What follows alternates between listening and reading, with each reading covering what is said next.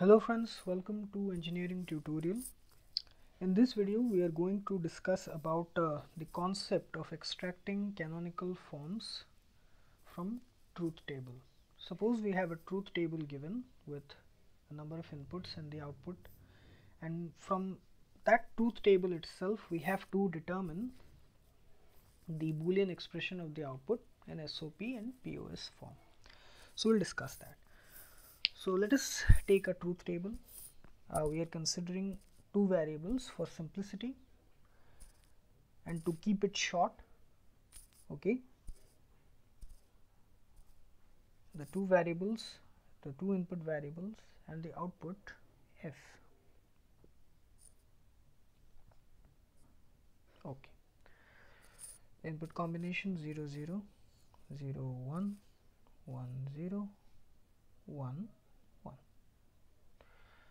and the output is 0 1 1 1 okay.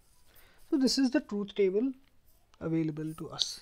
Now from this truth table we have to determine the boolean expressions of the output in SOP and POS form.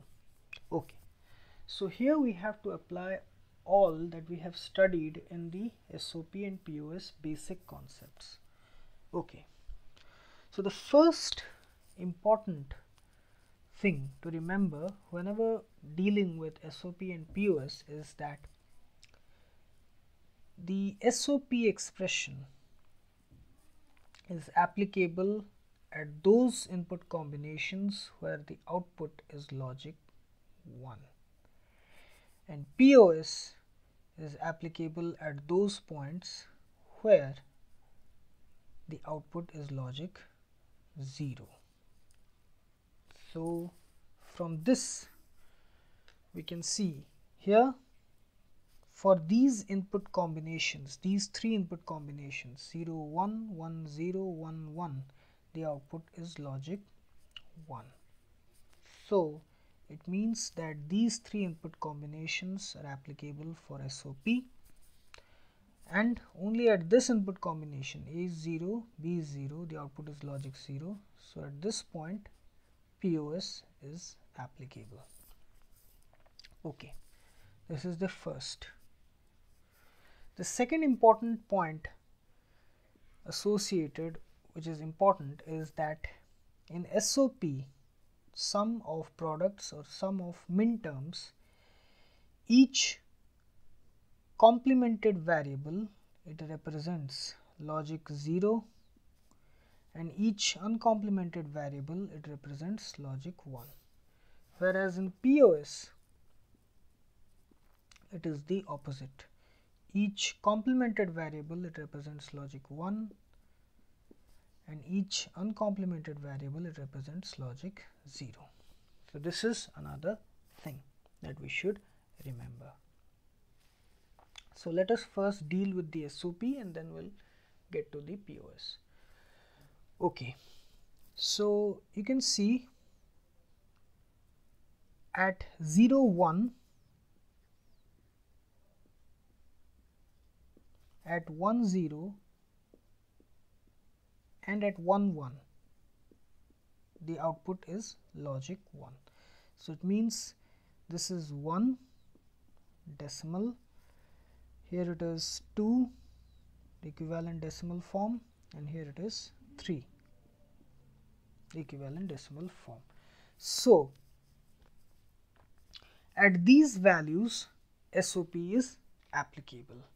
So, we can write this as F SOP is sum of min terms M1 plus M2 plus M3 okay?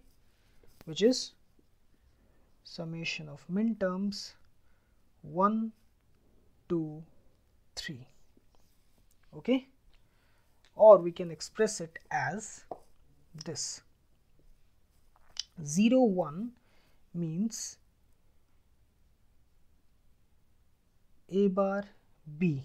A is 0 b is 1 1 0 for min term 2 it means 1 0 a is 1 b is 0 a b bar.